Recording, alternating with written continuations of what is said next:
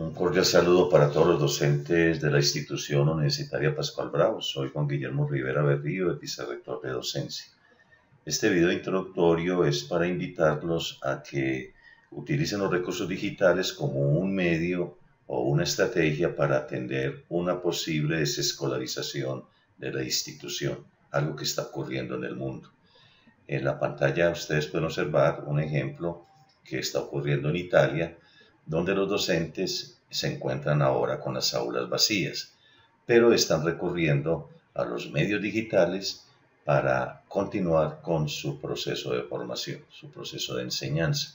Aquí vemos otro caso en Estados Unidos, donde se están preparando, así como lo vamos a hacer nosotros, para que los estudiantes tomen clase desde su casa.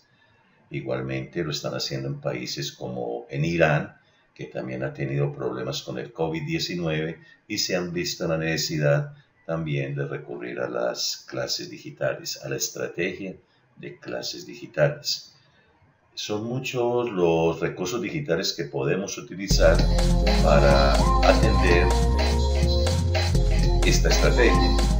hay desde los más complejos hasta los más sencillos. Uno de ellos, por ejemplo, es utilizar lo más utilizado por los estudiantes, que es el WhatsApp, y el cual podemos llevarlo también a nuestro computador. Es un algo muy sencillo que próximamente miraremos o les explicaremos cómo hacerlo.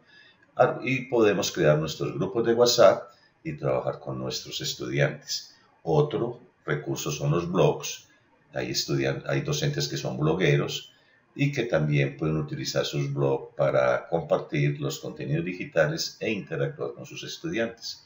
Una forma sencilla es a través, a través del blogger, que unos cuantos pasos me permite crear un blog y en él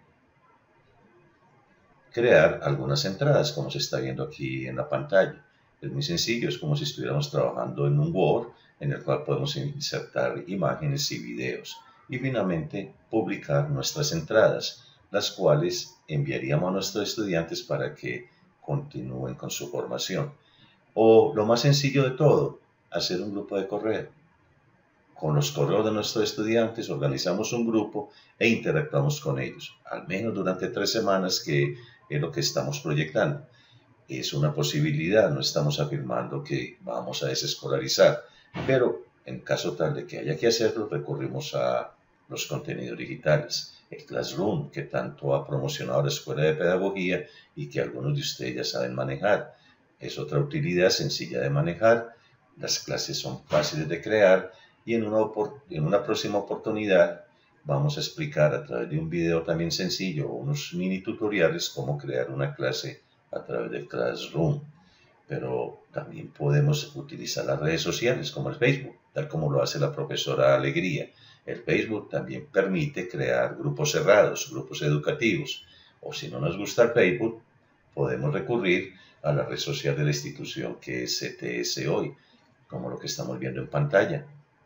Allí algunos docentes están subiendo unos libros interactivos que han aprendido a crear, como el caso del profesor eh, Ramiro Lopera o el de Jesús Ignacio Calle. Aquí tiene un texto de circuitos eléctricos el de Luis Guillermo Muñoz, análisis de requisitos, pero no necesariamente son libros digitales interactivos. También podemos subir documentos, podemos subir videos, podemos también publicar imágenes o, si lo deseamos, establecer un foro con nuestros estudiantes para discutir lo que estamos trabajando en clase. En fin, lo que estamos buscando es tener una estrategia para atender una posible desescolarización situación que confiamos que no se va a dar y que en caso de que se dé estemos realmente preparados.